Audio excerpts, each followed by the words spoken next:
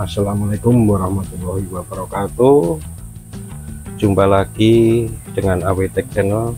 Kali ini kita coba kabel data untuk setting controller motor listrik. Oke, perlengkapannya peralatan yang dibutuhkan atau materialnya kurang lebih cuman tiga ya atau empat dengan kabel. Sebetulnya kalau di pasaran juga ada yang eh, menjual sudah disolderkan jadi kita tinggal pakai.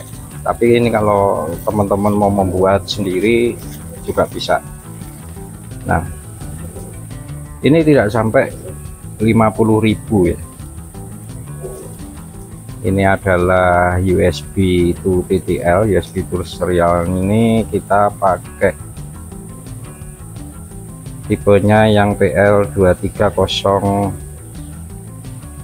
nah ini USB to TTL ini PL2303 ini kalau harga di pasaran kurang lebih sekitar 15an ribu. Nah yang kedua adalah nah ini USB to CAN bus jadi di motor listrik gesit ini kontrolernya ada fitur CAN bus atau communication ya jadi beda dengan motor listrik yang lain atau controller yang lain. Controller foto universal itu tidak ada uh, canvasnya. Itu nanti bisa menggunakan USB yang biasa ada di pasaran. Tapi kalau yang ini, ini biasanya terbatas di pasaran. Ya ada tapi tidak sebanyak yang universal. Terus selanjutnya adalah konektor Furukawa yang 9 pin. Nah seperti ini ini bisa kalau di pasaran juga enggak banyak. Eh enggak harganya enggak enggak mahal-mahal amat. Sekitar 16.000 kalau nggak salah. Nanti linknya saya coba taruh di deskripsi. Nah sama kabel ya tentunya ya. Kabelnya mungkin yang 0,5 mili aja sudah cukup atau mungkin teman-teman juga ada kabel USB pakai kabel USB juga sudah bisa. Ini adalah USB yang nanti untuk berkomunikasi dengan controller motor listrik atau ECU nya ke komputer atau laptop. Jadi kita waktu melakukan setting perbaikan maupun remap itu perlu yang namanya kabel USB ini. Nah ini yang sudah jadi yang sudah saya pakai selama ini. Oh ya tadi lupa ya. Kalau yang ini sepertinya nanti juga masih tetap perlu jepit buaya satu biji. Nah ini konsepnya adalah sama. USB nya PL2302 nya saya beli dengan yang include dengan kabel. Nah ini yang TGA 1050 USB to CAN busnya saya simpan di dalam sini. Ini kemarin saya belikan kabel yang 8 kali 2 soket ke controller. Kalau yang ini di atas ratusan ribu ya agak agak mahal. Tapi ini memang saya pakai yang ini karena daripada saya nusuk-nusuk. Sebetulnya yang digunakan adalah dari sini cuman dua kabel saja.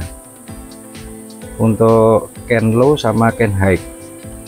Biasa warnanya adalah yang orange sama biru. Nah yang satu ini nanti masuk ke sini juga. Ini adalah ke key kalau di wiring diagramnya adalah kunci ya kunci kontak. Jadi untuk menghidupkan controller perlu tegangan baterai. Di sini tegangan baterai yang kita gunakan adalah 72 volt. Nah ini yang ada fitur uh, CAN busnya USB to CAN bus kalau USB itu serial yang universal nah seperti ini. Ini biasa yang saya pakai untuk setting di botol yang universal. Jadi cuman 4 kabel langsung ke sini ke USB nya BL2303 atau bisa juga pakai CH340 nah ini cuman perlu 5 volt uh, ground sama TX RX ya untuk komunikasi ke laptop. Khusus untuk gesit ini tidak bisa menggunakan ini karena CAN bus ini waktu kita setting kita juga harus pisahkan koneksinya atau kita lepas koneksinya dengan baterai. Artinya apa? Baterai juga ada fitur uh, CAN pada BMS nya jadi baterai itu sebetulnya juga berkomunikasi dengan controller berkomunikasi juga dengan MID yang ada di depan. Saling berkomunikasi dua arah. Untuk di kesit ini waktu penyetingan memang selama ini yang saya lakukan sambil setting kita tidak bisa sambil uh, coba ya. Seperti kalau di botol yang universal kita sambil setting bisa kita langsung kita gas kita tarik throttle-nya kita lihat RPM-nya berapa pecahannya berapa. Tapi kalau ini memang sedikit agak ribet jadi waktu kita setting kita rubah programnya kita simpen itu kondisinya belum bisa kita coba hidupin motornya kita gas. Karena apa? Karena kabelnya ini bergantian nancapnya kabelnya ini bergantian dengan kabel yang bawaan motor. Otomatis sistemnya motor tidak bisa dihidupkan. Nah setelah parameter yang ada di aplikasinya atau ada di sopirnya kita simpen ke controller itu nanti baru bisa kita coba kita on kan jika dirasa kurang sesuai atau pengen ada perubahan lagi kita lakukan pengulangan penyetingannya lagi.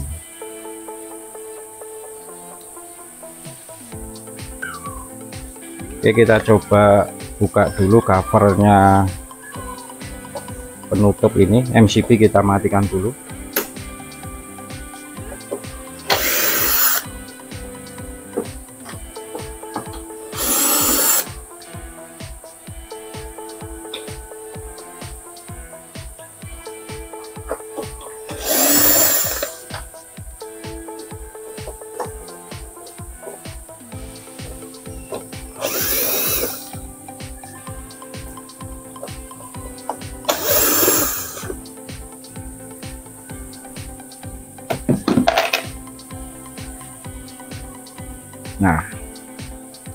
ini ada karet ya saya lem di sini sebagai pembatas supaya air itu tidak masuk ke dalam sini.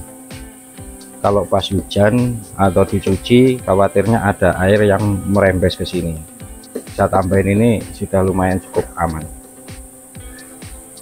Nah ini dalamannya kurang lebih seperti ini ini kontrolernya. Dan ini baru saya pasang ersan. Untuk wattmeternya belum belum terpasang. Baru ersannya aja. Jadi nanti kita akan menggantikan dengan uh, yang ada di sini. Konektornya ini tadi. Nanti konektor yang asli kita lepas kita taruh dengan konektor kabel yang untuk setting itu